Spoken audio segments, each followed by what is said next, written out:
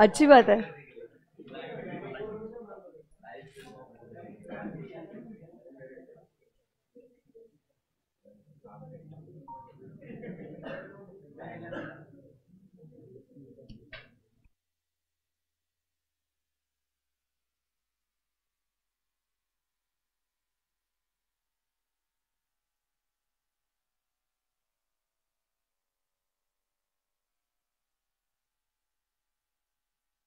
Very good morning to every one of you all.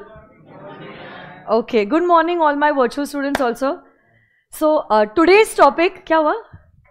Okay, today's topic is like really very very, very very, very important. Okay, and it is one of the favorite topics of the ICI also, which is relating to a one person company. ठीक है?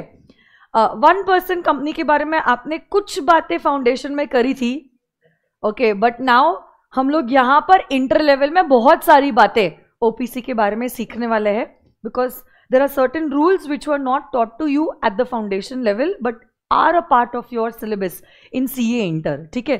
तो सारी बातें जो है, वो cover होने वाली है। आप लोग मुझे बता सकते हो, आप लोगों की फेयर अंडरस्टैंडिंग क्या है वन पर्सन कंपनी के बारे में? ओके वेरी गुड जैसे नाम कहता है one person company there is only one person who is the member of the company मतलब मिनिमम भी वन एंड मैक्सिमम भी वन बट आप लोग बता सकते हो डायरेक्टर्स का क्या हालचाल है? कितने मिनिमम डायरेक्टर्स और कितने मैक्सिमम डायरेक्टर्स है ओपीसी में? कुछ पता है आपको? मेंबर नहीं बात कर रही मेंबर तो आपने बोल दिया। उसके बारे में हो गई चर्चा। One minimum member and maximum भी वन मेंबर मैं डायरेक्टर्स की बात कर रही हूँ डायरेक्टर्स मिनिमम कितने डायरेक्टर्स और मैक्सिमम कितने डायरेक्टर्स है ओपीसी में? मिनिमम वन है। Maximum fifteen very good very nice एक बार जोरदार तालिया ये बच्चे के लिए। Nice nice. सुनो ना, आपके नोटबुक्स में आते हैं कि आप लोग साथ साथ में लिख लो जो जो टॉपिक्स आपके ऑलरेडी हुए हैं, फिर फटाफट हो जाता है हमारा। कहाँ लिखोगे बट आप? कल आपने limited by shares limited by guarantee और अनलिमिटेड कंपनी के बारे में लिखा? उसके नीचे वो सिमिलैरिटीज और वो डिफरेंसेस भी हमने करवाया था वो भी लिखा आप लोगों ने? Okay okay. तो अब हम आगे बढ़ते हैं। uh, इसको कहाँ लिखोगे? OPC is a kind of a private company but वहाँ पे जगह है क्या आपके पास? बताओ कैसे? आपके दोनों भी शीट्स नहीं नहीं बट कंप्लीट हो गए आपके। इसके अलावा तो कंट्रोल वगैरह सब कुछ है ना? अच्छा ये अपने यहाँ पे कंट हाँ अच्छा जो लोगों ने ऐसे एक पेज यहाँ पे खाली छोड़ा था ना, और उसके बाद क्योंकि मैंने डबल शीट बोला था you all came to a double sheet you all can write it over your others what you all can do is सुनो सुनो सुनो, बाकी अगर आप लोगों का शुरू ही होता है डबल शीट पे, आप लोग क्या करो, सुन लो अभी अच्छे से, आप लोग और एक डबल शीट ऑफ़ पेपर को ब्लैंक रखो, क्योंकि यहाँ पे कंट्रोल आएगा। कंट्रोल के बेसिस पे there is holding company subsidiary company associate company फिर उसके बाद सेक्शन एट कंपनी है फॉरेन कंपनी है। क्योंकि फॉरेन कंपनी के ऊपर आपका एक पूरा नया चैप्टर है, जो आपको ऐड हुआ है नए करिकुलम में। वो हम करने वाले हैं। और फिर आप क्या कर सकते हो, और एक डबल शीट छोड़ने के बाद जो नेक्स्ट पेज है, वहाँ पे पूरा एक सिंगल पेज मेरे को लगेगा वन पर्सन कंपनी के लिए। ठीक है? So with the section along with the rules everything will take approximately one whole page for a one person company. Virtual kids, I hope you all understood what I said. एक बार virtual बच्चों के क्या हाल है मैं देख लेती हूँ बुरा हाल है virtual kids are more sincere as compared to the face to face kids i'm not asking you i'm telling you this is क्योंकि यहाँ पे आने के बाद ना बच्चा ऐसे प्रेस्टीज पॉइंट के रंगीन दुनिया में खो जाता है। कैसे हर रोज नए चेहरे दिखते हैं। अब, और एफ़ सी रोड और कोरेगांव पार्क के एनएसपी के बारे में तो क्या ही बताए हम। वर्चुअल बच्चे बोल रहे हैं एनएसपी क्या होता है नहीं समझा मैं। कोई बात नहीं बेटा, अच्छी बात है। कुछ, आपको भी नहीं समझा? सीरियसली रहने तो अभी यूट्यूब पे चालू है। नहीं अभी लेक्चर्स यूट्यूब पे चालू है अननेसेसरली एनएसपी मराठी में एक क्या, समझा रहे हो मैं? ओबीसी में आ जाओ ओबीसी वन पर्सन कंपनी वो जानना ज़रूरी है। एनएसपी का फुल फॉर्म नहीं ओबीसी का क्या फुल फॉर्म है वो जानना ज़रूरी है। वन पर्सन कंपनी गलती से यहाँ पे एनएसपी लिख दूँगी मैं। वन पर्सन कंपनी आ जाइए।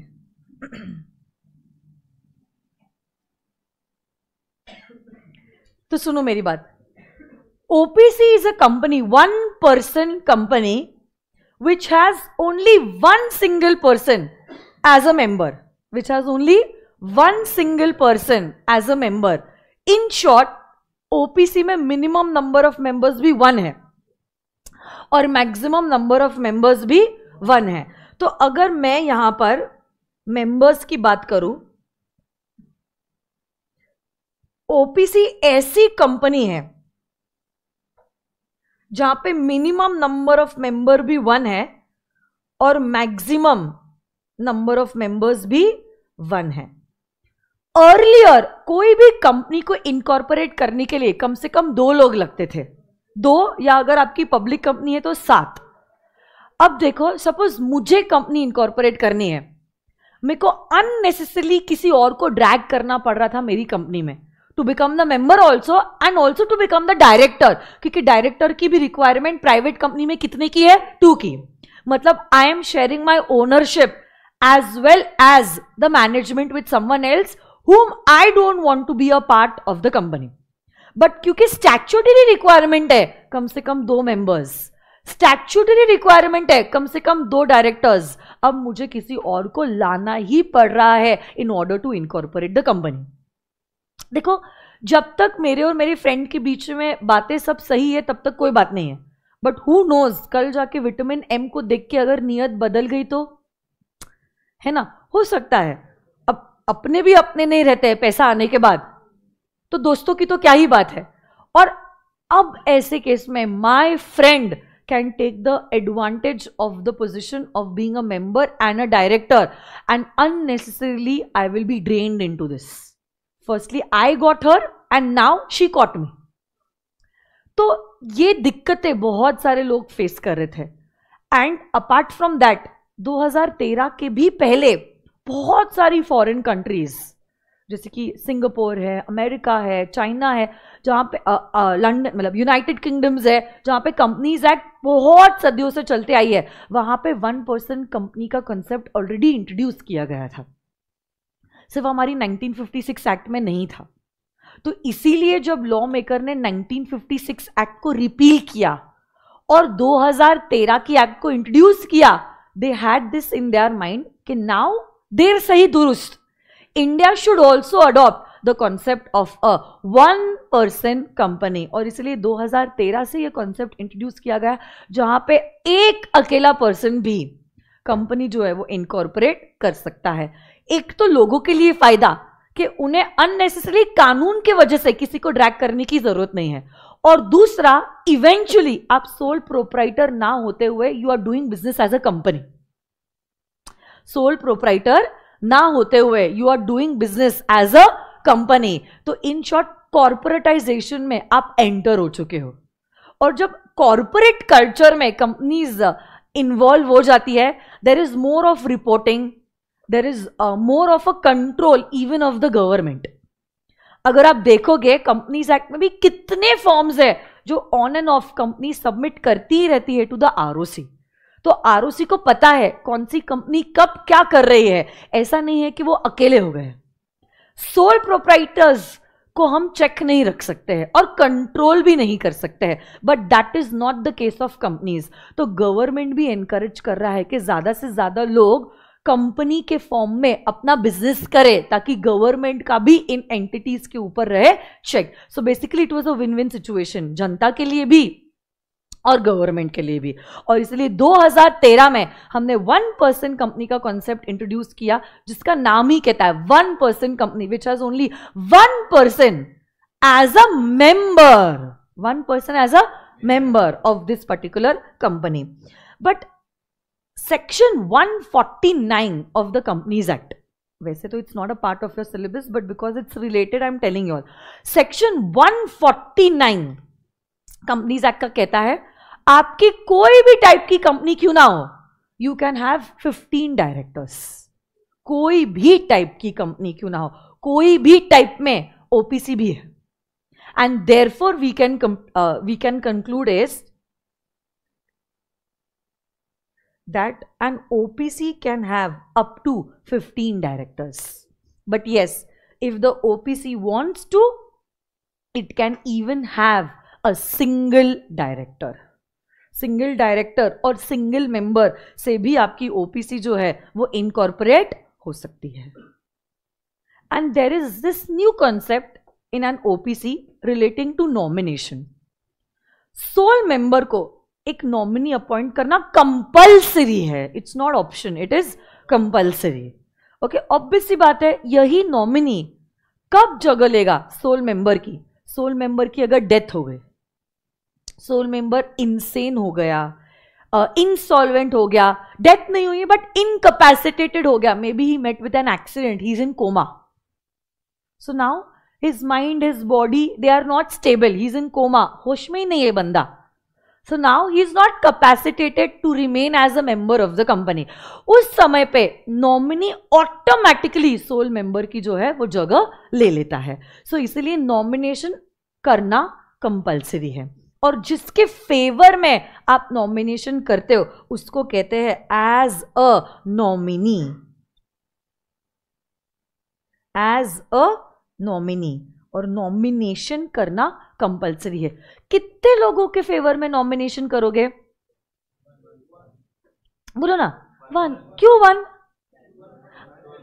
अरे ये वही तो बंदा है ना, जो सोल मेंबर की जगह लेने वाला है. और सोल मेंबर तो सोल ही हो सकता है, अकेला ही हो सकता है। इसलिए जब आप नॉमिनेशन भी करते हो, आप नॉमिनेशन करते हो only in favour of one person this nominee will take the position of the sole member this nominee will take the position of the sole member back benchers यहाँ पे ध्यान दो। This nominee will take the position of the sole member in case the sole member dies or becomes incapacitated. Okay, or becomes insane. उस case में automatically by operation of law nominee किसकी जगह ले लेगा सोल मेंबर की जगह ले लेगा but now the question is who can become the sole member and eventually who can become the nominee दोनों के लिए क्राइटेरिया सेम ही है क्योंकि नॉमिनी सोल मेंबर की जगह लेने वाला है। And that is why suppose आपको सवाल आता है who is eligible to become the sole member और the nominee of an OPC so now there are four pointers चारों भी कंडीशन एक साथ पूरा होगा तो ही आप एलिजिबल हो गए सोल मेंबर या नॉमिनी बनने के लिए। आप लोग ये मेरे साथ लिख रहे हो ना? Very good so who is eligible who is eligible to become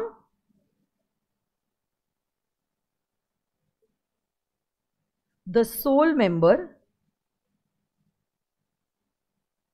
slash nominee. Obviously, this is in context of an OPC, huh? Who is eligible to become the sole member or the nominee of an OPC? सबसे पहली बात तो this person should be a natural person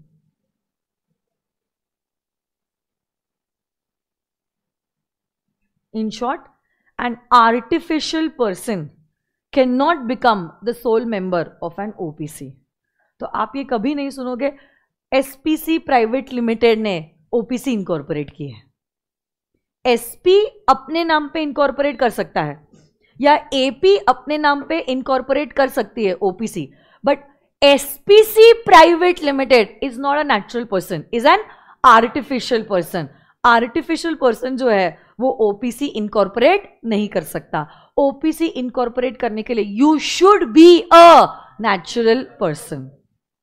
Not only a natural person you should also be an Indian citizen तो Indian citizen होना ज़रूरी है। History में हमने जो गलतियाँ की है, वो हम रिपीट नहीं करना चाहते हैं। Britishers had come to India to do business business पीछे रह गया, इतने साल वो रूल करके चले गए। वापस ऐसा नहीं होना चाहिए कि ब्रिटिशर्स इंडिया में आ रहे हैं धंधा के नाम पे और कांड करके गए। तो ये सब ना हो, इसलिए हम कह रहे हैं only an Indian citizen would be eligible to incorporate an OPC अच्छा ये सब पॉइंट्स जो मैं लिख रही हूँ, इसमें एंड है या और है? एंड मतलब एक तो नेचुरल पर्सन तो चाहिए नेचुरल पर्सन के साथ साथ ये बंदा या बंदी जो भी है इंडियन सिटीजन भी चाहिए। अब तीसरा पॉइंट जो बहुत सही पॉइंट है, जो जब 2013 में एक्ट आया था, तब और था और कुछ साल पहले 1920 में, उसको चेंज कर दिया गया। ठीक है? आज के टाइम पे माना गया है whether you are a resident of India और अदरवाइज़ अदरवाइज़ मतलब you are not a resident obviously will not make a difference आप इंडियन सिटीजन हो ना मतलब आप दिल से भारतीय हो ना, बस, जाल। आप कहा रह रहे हो? रेसिडेंट मतलब where you are staying will not really make a difference so whether you are a resident or otherwise, whether you are a resident और रेसिडेंट ऑफ इंडिया लिख लेती हूं मैं रेसिडेंट ऑफ इंडिया और otherwise also you are still eligible to incorporate an OPC or become the nominee of an OPC. तो आज के जमाने में फ़र्क नहीं पड़ता है। आप इंडिया में रह रहे हो या इंडिया के बाहर रह रहे हो, किससे फ़र्क पड़ता है कि आप इंडियन सिटीजन हो या इंडियन सिटीजन नहीं हो? अरे कितने सारे लोग हैं यार, आप लोगों में से किसी के रिलेटिव है जो इंडिया के बाहर सेटल हुए हैं? किसके? आपके? कौन? चाचा, कहाँ पर? कैलिफ़ोर्निया में। But is he born in India but right now he is working in California मतलब he is an Indian citizen but he is residing outside India residing मतलब रहना. रिसाइड करना मतलब रहना. He is residing outside India वहाँ पे किसी ने हैंड रेस किया था? Cousin brother where is he where is he ये बच्चे रशिया बोल रहे हैं. वेर इज़ ही सेटल्ड कहाँ पर रह रहे वो?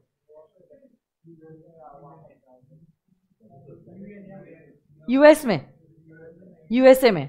So now his brother is in USA ऐसे बहुत सारे मेरे भी कजन्स है जो uh, कुछ यूनाइटेड किंगडम्स में रह रहे हैं. They are Indian citizens but now for their job for bigger opportunities they have gone for their job in some foreign country so basically they are Indian citizens the only thing is अभी के time पे they are not residing in India they are residing in a foreign company. Forget about brothers and sisters. We all know about Priyanka Chopra. Priyanka Chopra is an you don't know ऐसे behave मत करो ऐसे। ठीक है? ठीक है? So Priyanka Chopra is an Indian citizen but now she is not residing in India she is residing in a foreign country but दिल से शी इज़ देसी. देसी गर्ल ठीक है? So she is a desi girl सिर्फ़ थोड़े समय के लिए वो थोड़े समय के लिए वो इंडिया आती जाती रहती है, वो अलग बात है बट वो है इंडियन सिटीजन कल जाके उसने बहुत पैसा कमा लिया, नाम कमा लिया, अच्छी सेटल्ड है बट नाउ शी इज़ अभी चलो, अब इंडिया ने मुझे इतना प्यार, मोहब्बत सब कुछ दिया है I want to do something in India only eventually when I retire I want to come back to India only ऐसे वो सोच रही है.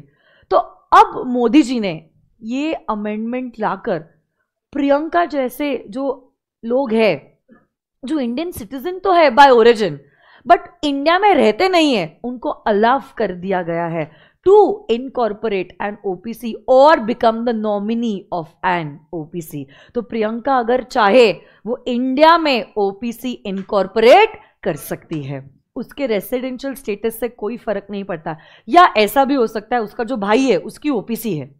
प्रियंका उसकी नॉमिनी बन सकती है। तो आज नहीं तो कल। ये आशा की किरण तो है कि प्रियंका इंडिया में आके इस धंधे को टेक ओवर करेगी और इंडिया में आके सेटल हो जाएगी। So why not and instead of incorporating a company in America it's always better that we are allowing them to incorporate a company in India foreign remittance भी तो India में आएगा ना। तो तुम यहाँ पे तुम पढ़ाई कर लो। उधर जाके तुम कमा लो और कमा के वापस धंधा करने के नाम पे इंडिया में ही आ जाओ। तो इससे बेस्ट और क्या हो सकता है? तो घर का पैसा घर में ही रहेगा कहीं जाएगा नहीं। So that was a step taken by Modi ji. आपने कभी बजट uh, देखा हुआ है क्या?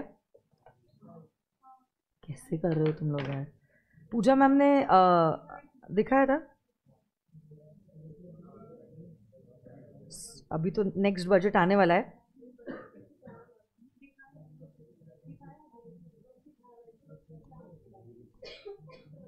अभी से ये हाल है? क्या आपको ये नहीं पता है कि हमको बजट पूजा मैम ने दिखाया है?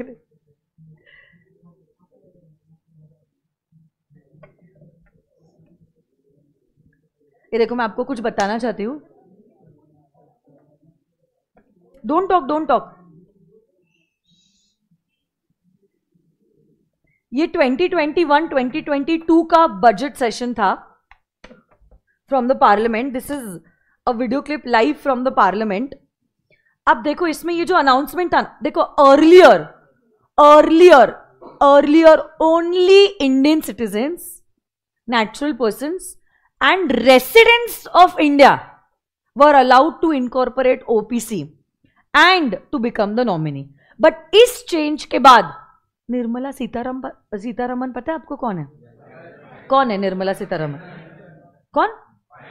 हाँ very good and she is also the head of the ministry of corporate affairs दोनों के भी हेड वो है ओके फाइनेंस मिनिस्टर तो है बट उसके साथ साथ she is also leading the ministry of corporate affairs in short company से रिलेटेड सारी बातें जो है, यही डिसाइड करती है. She is the head she will take the initiation कुछ अमेंडमेंट लाना है क्या? कुछ चेंजेस लाने हैं क्या? कुछ एडिशन करना है क्या? कुछ डिलीशन करना है क्या? कुछ सब्सिट्यूशन करना है क्या? सारा दिमाग इन्हीं का है। ये जो खड़े ना ये सारी में शीज निर्मला सीतारमन सुनो सुनो वो क्या कह रही है not exceeding 2 crores to not exceeding 20 crores. This will benefit more than 2 lakh companies. ठीक है ये तो ओपीसी की वो आ, आ, ये स्मॉल कंपनी की लिमिट थी स्मॉल कंपनी की लिमिट तो अभी और चेंज हो गई और चार और चालीस हो गई है ठीक है वो मैं आपको बताऊँगी जब मैं स्मॉल कंपनी पढ़ाऊँगी तब right now my focus is on OPC अब भी वो बताएगी इसके बाद बताएगी स्मॉल कंपनी के बाद ओपीसी का ही है their compliance requirements. अभी सुनो As a further measure which directly further benefits measure. startups and innovators, I propose to incentivize the incorporation of one person companies by allowing one person companies to grow without any restriction on paid up capital and turnover, allowing their conversion into any other type of company at any time, reducing the residency limit for an Indian citizen to set up an one person company from 182 days to 120 days and allow also non resident Indians to incorporate OPCs in India. This will be a big boost for startups. सुना आपने उन्होंने क्या बोला last sentence सबसे important sentence था we are now allowing even non residents to incorporate OPCs in India और become the nominee of OPCs in India सो इसीलिए मैंने पॉइंट लिखा है whether you are a resident और अदरवाइज़ मतलब even if you are a non resident you can still incorporate an OPC or become the nominee of an OPC. तो resident आप कब होते हो? रेसिडेंट आप तब होते हो when you have stayed in India for not less than 120 days resident आप तब होते हो when you have stayed in India for not less than 120 days but अभी तो आज के ज़माने में whether you are a resident और अदरवाइज़ हमने अलाव किया है। तो प्रियंका चोपड़ा दस बार आती होगी इंडिया साल भर में। कभी मूवी के प्रमोशन के लिए, कभी मम्मी के घर आती होगी, कभी भाई से मिलने के लिए, कभी किसी कज़न की शादी के लिए। तो आती होगी दस बार। So now we do not actually calculate दस बार जब वो इंडिया आई है, वो कितने दिन रही है? 120 दिन रही भी है या नहीं भी रही है? क्यों कैलकुलेट करने की ज़रूरत नहीं है? क्योंकि टेक्निकली आज हमने नॉन रेसिडेंट्स को भी अलाव किया है ओपीसी को इनकॉर्पोरेट करने के लिए। तो कल जाके अगर वो सिर्फ़ पंद्रह दिन भी इंडिया में थी ना साल भर में, पंद्रह दिन, सिर्फ़ पंद्रह दिन फॉरगेट अबाउट वन ट्वेंटी सिर्फ़ पंद्रह दिन थी वो इंडिया में तो भी क्या वो ओपीसी इनकॉर्पोरेट कर सकती है? या क्या वो कोई ओपीसी की नॉमिनी बन सकती है? So whether you are a resident और otherwise you are allowed to incorporate an OPC and become the nominee of an OPC और लास्ट पॉइंट कहता है in order to be eligible to become a sole member or a nominee, you should be a major. You should be a major. मैं पूजा ma'am को सिर्फ़ बोलती हूँ मैं बारह बजे तक क्लास ले रही हूँ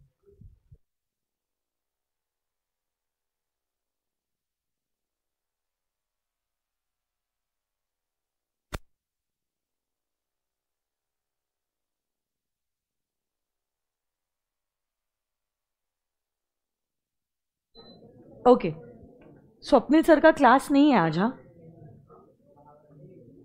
स्वप्निल सर का आज क्लास नहीं है ठीक है फिर आपका लंच पूजा मैम के बाद आपका लंच ब्रेक होगा ना फिर उसके बाद आप लोग अकाउंट्स के लिए आ जाना ठीक है सुनो ना मेरी बात आप अगर चाहो क्या आप सोल मेंबर को चेंज कर सॉरी नॉमिनी को चेंज कर सकते हो सपोज़ से फॉर एग्ज़ाम्पल मैंने अपने भाई को अपॉइंट किया था as the nominee if I wish to can I change this nominee अरे बोलो ना. In fact even my brother if you wants to he can withdraw his consent from becoming a nominee आप nominee को change भी कर सकते हो. और नॉमिनी खुद अपना कंसेंट जो है, वो विड्रॉ कर सकता है. ठीक है? अब और एक चीज़ है. ओपीसी जो है ओपीसी में हमने ये नॉमिनेशन का कॉन्सेप्ट देखा जहाँ पे आप नॉमिनी को चेंज कर सकते हो या नॉमिनी खुद अपना कंसेंट जो है वो विड्रॉ कर सकता है। इसी का प्रोसीजर लॉ मेकर ने दिया हुआ है जो आपके सिलेबस का हिस्सा है। ओके okay, क्या कहता है ये सेक्शन सुनो मेरी बात। दो प्रोविजंस है और दोनों हम लोग बैक टू बैक लर्न करेंगे क्योंकि दोनों को साथ में जब आप करते हो तो आपके लिए भी चीज़ें आसान हो जाती हैं। देखो, ये सारे एग्जाम्पल्स काल्पनिक है। वास्तविक जीवन से इनका कोई भी लेना देना नहीं है, ठीक है? See for example there is an OPC in the name of Deepika Padukone private limited जिसकी सोल मेंबर कौन है? Deepika ji. Is she a natural person Indian citizen resident of India and a major so she is eligible to incorporate a one person company तो दीपिका जी ने क्या किया? एक one person company incorporate किया है, ठीक है? और वन पर्सन कंपनी को तो नॉमिनी अपॉइंट करना कंपलसरी है। है या नहीं? सो so, उसने क्या किया? She appointed a nominee and she appointed Ranbir Kapoor as the nominee she appointed Ranbir Kapoor as the nominee तो जब ओपीसी इनकॉर्पोरेट हुआ था तब इनकॉर्पोरेशन के वक्त उन्होंने रणबीर कपूर को ओपीसी के नॉमिनी की तरह अपॉइंट किया। तब तो सब कुछ सही था। बट अनफॉर्चुनेटली दोनों के बीच में ब्रेकअप हो गया रो रही है बेचारी दीपिका देखो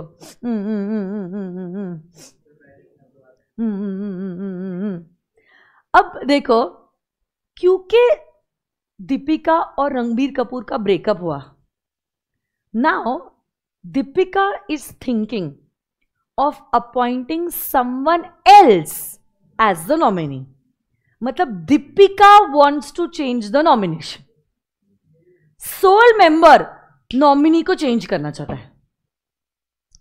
सोल मेंबर नॉमिनी को चेंज करना चाहता है। So now Deepika wants to remove Ranbir Kapoor as the nominee and Deepika wants to appoint a new nominee in place of Ranbir Kapoor and that is Ranveer Singh. तो now it is the sole member emotional मत हो example पे concentrate मत करो concept पे करो. ठीक है? सोल मेंबर ने सोल मेंबर ने मतलब दीपिका ने, पुराने नॉमिनी को निकाला और उसके जगह पे नए नॉमिनी को अपॉइंट किया. क्या ऐसा पॉसिबल है? आपकी कंपनी आपका पैसा, आपकी मर्ज़ी. आपको जिसको नॉमिनी की तरह अपॉइंट करना है, आप कर सकते हो. तो तब दीपिका जी को रणबीर पसंद थे। तो उन्हें अपॉइंट कर लिया। But now she wants to appoint Ranveer Singh as the nominee can she do that so yes sole member पुराने नॉमिनी को निकाल के नए नॉमिनी को अपॉइंट कर सकते हैं। It can also happen the other way round nominee खुद अपना कंसेंट विड्रॉ कर सकता है। इस केस में क्या हुआ है? सोल मेंबर ने नॉमिनी को पुराने निकाला है और उसकी जगह पे नए नॉमिनी को अपॉइंट किया है। उल्टा भी हो सकता है। नॉमिनी जो है, अपना कंसेंट विड्रॉ कर रहा है और कह रहा है I don't want to be the nominee of your company any more तुम किसी और को ढूंढ लो। ठीक है? तो ऐसा भी हो सकता है। Say for example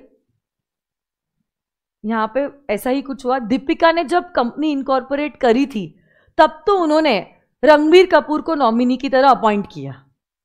but unfortunately फिर रणबीर कपूर ने अपना कंसेंट विड्रॉ कर लिया फॉर रीजन यू नो ठीक है? So now who is withdrawing the consent nominee is withdrawing the consent तो नॉमिनी ने अपना कंसेंट विड्रॉ किया और कहा I don't want to be the nominee of your company ऐसे केस में अब दीपिका जी को क्या करना पड़ेगा? उसकी जगह पे नए नॉमिनी को करना पड़ेगा अपॉइंट। तो दोनों भी बातें हो सकती है। सोल मेंबर भी नॉमिनी को रिमूव कर सकता है और नॉमिनी भी अपना कंसेंट जो है वो विड्रॉ कर सकता है। जो भी है, दोनों भी चीज़ें अगर हो रही है there is a procedure that is laid down in the law there is a procedure that is laid down in law. So what is this procedure? This you should know. Okay, so let's check it out. देखो first ये procedure मैं पढ़ाती हूँ तो दूसरा वाला procedure आप बता देना आपको आ जाएगा बताने में बहुत इजी है रणबीर से रणवीर तक का सफ़र सलोनी कह रही है ओके. तो देखो यहाँ पर क्या हुआ है? यहाँ पे there is a withdrawal of consent by the nominee first example या सेकेंड एग्ज़ाम्पल सेकेंड मतलब यहाँ पे आर के कह रहा है that I don't want to be a nominee of your company तो अगर नॉमिनी अपना कंसेंट विड्रॉ करता है nominee has to give a notice to to person sole member and the OPC nominee has to give a uh, to give a notice to two persons. Which two persons? Sole member and OPC क्योंकि OPC अलग member अलग company अलग member अलग हाँ है ना? तो यहाँ पे सोल मेंबर मतलब दीपिका जी को नोटिस जाएगी और ओपीसी मतलब ओपीसी के बिहाफ पे डायरेक्टर्स को एक्चुअली ये नोटिस मिलती है। डायरेक्टर्स तो पंद्रह तक डायरेक्टर्स हो सकते हैं ना? कंपनी के। जो भी है तो ये कंपनी के डायरेक्टर्स को नोटिस जाएगी on behalf of the company कौन नोटिस दे रहा है? नॉमिनी क्यों नॉमिनी दे रहा है? क्योंकि यहाँ पे नॉमिनी अपना कंसेंट विड्रॉ कर रहा है ना। पहली हलचल उसके साइड से हुई है। तो नॉमिनी दो लोगों को नोटिस देता है ओपीसी को और सोल मेंबर को। ठीक है? आप फ़ोन यूज़ कर रहे हो क्या?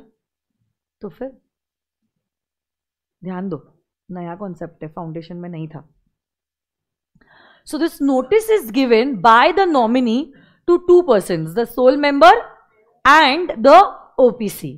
जैसे ये नोटिस जाती है उसके बाद क्या होगा? पंद्रह दिनों के अंदर दीपिका जी को नया नॉमिनी ढूंढना पड़ेगा। और नए नॉमिनी का आपको रिटर्न कंसेंट लेना पड़ेगा। देखो नॉमिनी का रिटर्न कंसेंट लेना कंपलसरी है। नॉमिनी का रिटर्न कंसेंट लेना कंपलसरी है, क्योंकि नॉमिनी की पोजीशन रिस्पॉन्सिबिलिटी की है। Nominee is going to take the position of the sole member इसलिए रिटर्न में कंसेंट लेना बहुत ज़्यादा ज़रूरी है। This consent is taken in form number I N C three I N C is incorporation का form number third. Because actually this uh, section comes in chapter number two incorporation of a company and matters incidental thereto तो chapter two के जितने भी forms है ना जितने भी forms है वो आईएनसी से ही शुरू होते हैं। वैसा ही है कंपनीज़ एक्ट में। एक चैप्टर है मैनेजमेंट का। मैनेजमेंट के सारे फॉर्म्स चालू होते हैं एमजीटी से। एमजीटी एक चैप्टर है चार्जेस का। चार्जेस के सारे form number C H G से चालू होते हैं। एक चैप्टर है डिपॉजिट का। डिपॉजिट के सारे फॉर्म चालू होते हैं डीपीटी से। तो this section comes under chapter number two in and matters incidental thereto इसलिए फॉर्म का नंबर भी चालू होता है आईएनसी से। INC is nothing but it is a short form of what incorporation so incorporation के चैप्टर का फॉर्म नंबर थ्री देख आई एन सी थ्री लिखा है ना? तो इनकॉर्पोरेशन का चैप्टर का form number three is relating to what consent of the nominee कौन से नॉमिनी का कंसेंट ले रहे हो? जो नया नॉमिनी है। पुराना नॉमिनी पहले दो लोगों को नोटिस देगा। कौन से दो लोगों को नोटिस देगा? ओपीसी को और सोल मेंबर जैसे ये नोटिस आती है, अब सोल मेंबर नए नॉमिनी को अपॉइंट करेगा पंद्रह दिनों के अंदर। ठीक है? और जब नया नॉमिनी अपॉइंट होता है, नया नॉमिनी का आप रिटर्न कंसेंट भी लेते हो in I N C three in which form number I N C three जैसे ही आपने नए नॉमिनी को अपॉइंट कर लिया, अब आपको एज अ कंपनी आरओसी को इस बारे में बताना होता है. ROC is like the mummy of the company company is the बच्चा.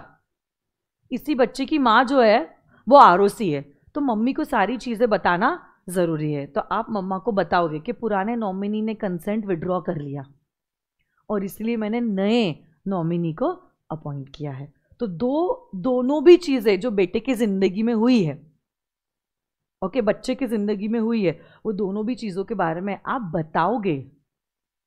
किसको बताओगे? मम्मी को। मम्मी कौन है? हमारी आरोसी क्या बताओगे? कि पुराने नॉमिनी ने अपना कंसेंट विड्रॉ कर दिया। और इसीलिए मैंने नए नॉमिनी को अपॉइंट किया है। और जब आप मम्मी के पास जाते हो ना, ये दोनों चीज़ें बताने के लिए, आप जाते हो in form number I N C four तो इसी आई एन सी फोर में आप दोनों चीज़ें बताते हो कि पुराना नॉमिनी छोड़ के चले गया और इसलिए मैंने नए नॉमिनी को अपॉइंट किया है। And obviously when you are going to the R O C you will have to pay the prescribed amount of fees लिखते हो इतना? लिख लिया आप लोगों ने?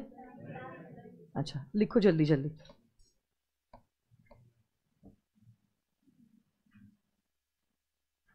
नॉमिनी अगर मर गया तो भी आपको दूसरा नया नॉमिनी अपॉइंट करना पड़ेगा।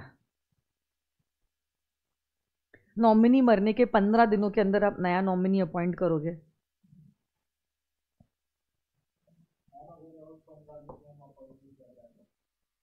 फिर आपको जो रूल्स को कॉन्ट्रवीन करने की पेनल्टी है, वो लग जाएगी।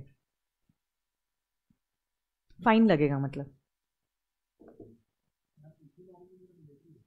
हाँ एक ही होगा नॉमिनी इसलिए तो हमने सबसे पहले कहा था ना नॉमिनी एक ही हो सकता है। नहीं नहीं हो सकता है। There is only one nominee that's it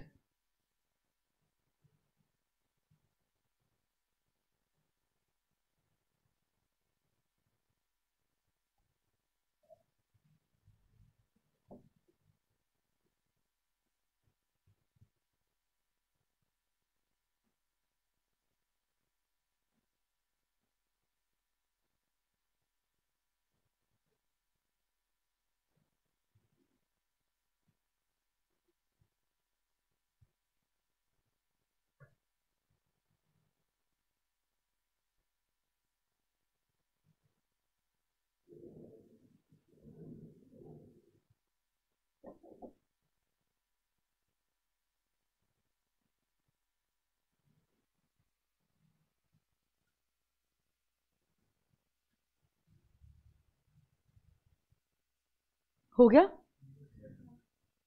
सोच के लिखो, सिर्फ़ कॉपी पेस्ट मत करो। क्या हो रहा है? नॉमिनी ने कंसेंट विड्रॉ किया है। इसीलिए नॉमिनी दो लोगों को नोटिस दे रहा है। सोल मेंबर को और ओपीसी को। जैसे हमें नोटिस मिलती है, हम पंद्रह दिनों के अंदर नए नॉमिनी को अपॉइंट करते हैं और नए नॉमिनी का कंसेंट लेते हैं। बराबर ना?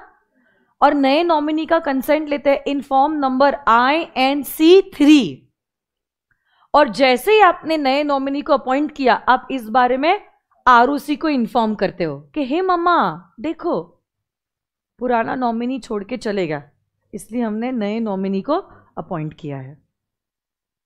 और जब आप आरओसी के पास जाते हो you go in form number I N C four बराबर ना?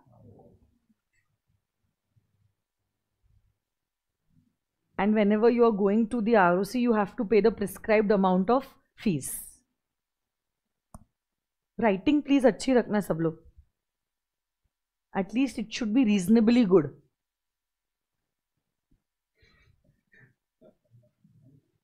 बहुत मोती जैसे अक्षर भी उम्मीद नहीं कर रही हो। वो समय चले गया आप हैंड राइटिंग सुधारने का।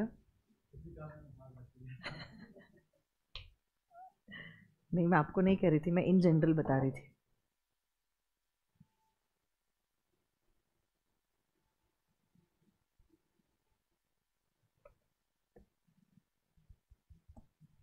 हो गया लिख के? Virtual kids what about you all come on guys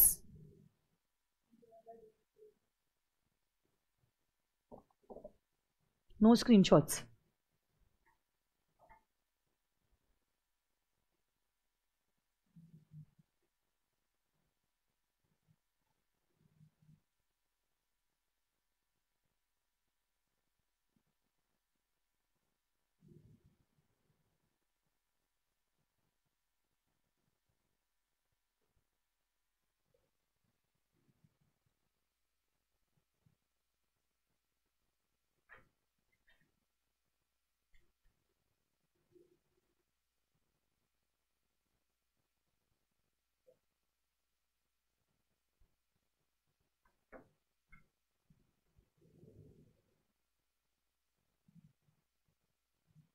done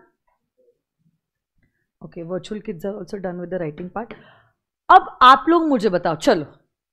See you all will be in a position to make the law चार दिन में क्या भारी पड़ लिया आपने? मुझे बताओ, अगर उल्टा हो रहा है सोल मेंबर नॉमिनी को रिमूव कर रहा है। यहाँ पे तो नॉमिनी ने कंसेंट विड्रॉ किया है ना? अब इस वाले केस में क्या हुआ है? सोल मेंबर ने नॉमिनी को रिमूव किया है। कौन नोटिस देगा? हलचल किसके साइड से हुई है? सोल मेंबर सोल मेंबर कौन दो लोगों को नोटिस देगा? ओल्ड नॉमिनी एंड ओपीसी हाँ देखा कितने होशियार हो आप लोग। So sole member will give removal का intimation to old nominee and OPC अब जैसे ही आपने पुराने नॉमिनी को निकालने की बात छेड़ी है कि आपको नया नॉमिनी अपॉइंट करना पड़ेगा? कितने दिनों में करोगे? पंद्रह दिनों में। और क्या नया नॉमिनी का कंसेंट लेना पड़ेगा? कौन से फॉर्म में? आई एन सी थ्री देखो, सब आ रहा है। और ये जो भी आपने कांड किया है, इस बारे में क्या मम्मा को बताना पड़ेगा? तो इस बार मम्मा को क्या बताओगे? कि मैंने पुराने नॉमिनी को रिमूव कर दिया है और उसके जगह पे नए नॉमिनी को अपॉइंट किया है। मम्मा को जाते वक्त फॉर्म नंबर कौन सा लेके जाओगे?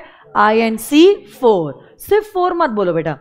हर चैप्टर में one two three four five six ऐसे फॉर्म्स है। So this is I N C four incorporation से related form form number is alpha numeric आप सिर्फ़ आई एन सी भी नहीं लिख सकते हो। और सिर्फ़ फोर भी नहीं लिख सकते हो। You have to write it as I N C four और जब मम्मा के पास जा रहे हो ऑब्वियसली आपको फ़ीस तो देनी पड़ेगी। So you will make the payment of the prescribed fees हाँ जाला। देखा, बैठे सब बच्चे यहाँ पे लॉ मेकर बन गए। कुछ दिनों में अब आपसे सीखना पड़ेगा कानून।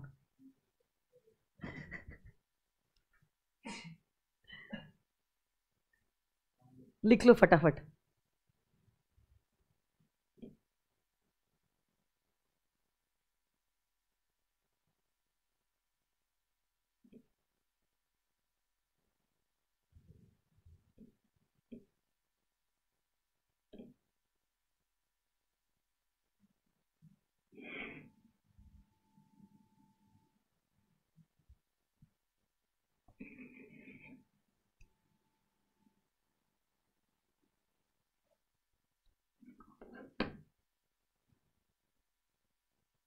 साइड प्लीज़ ठीक है हटती हूँ बेटा।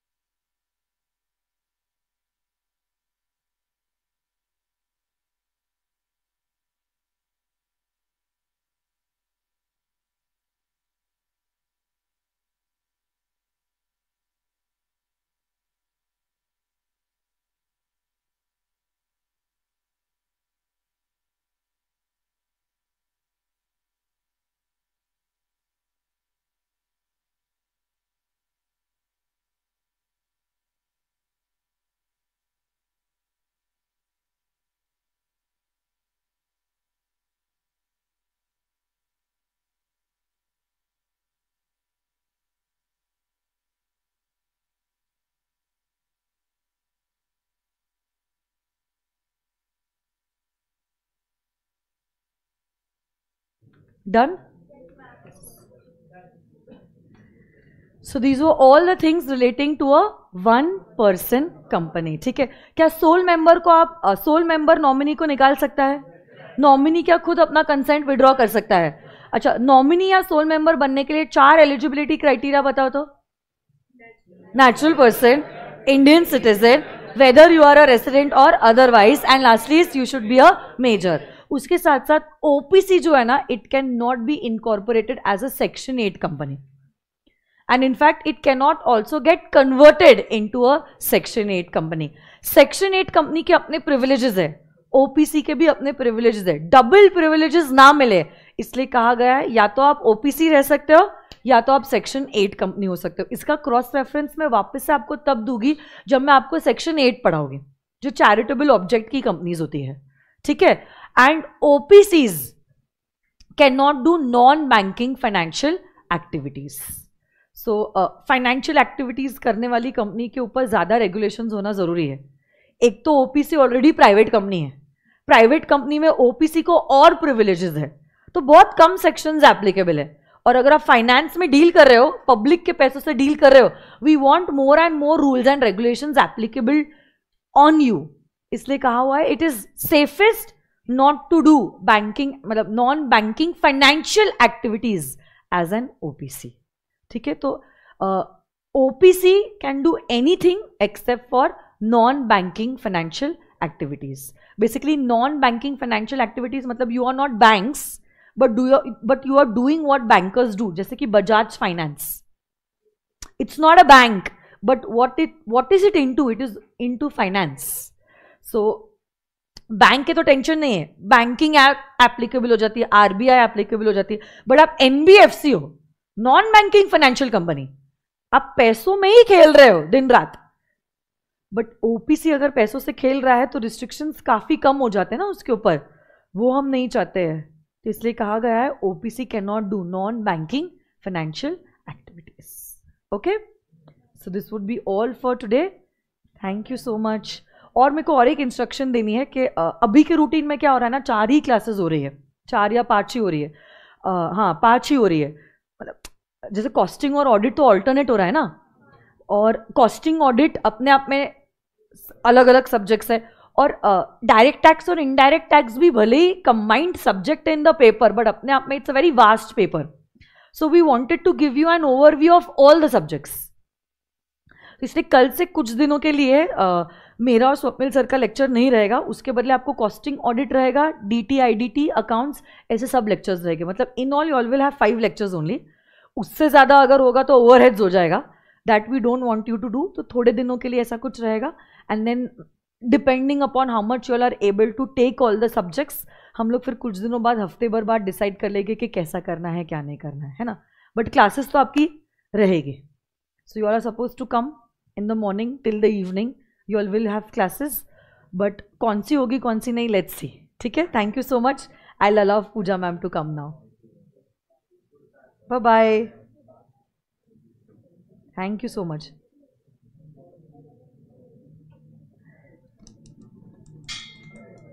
can the sole member become the director yes जो सोल मेंबर है, वो डायरेक्टर भी रह सकता है not a problem multiple roles play करेगा. चलता है. कोई प्रॉब्लम नहीं.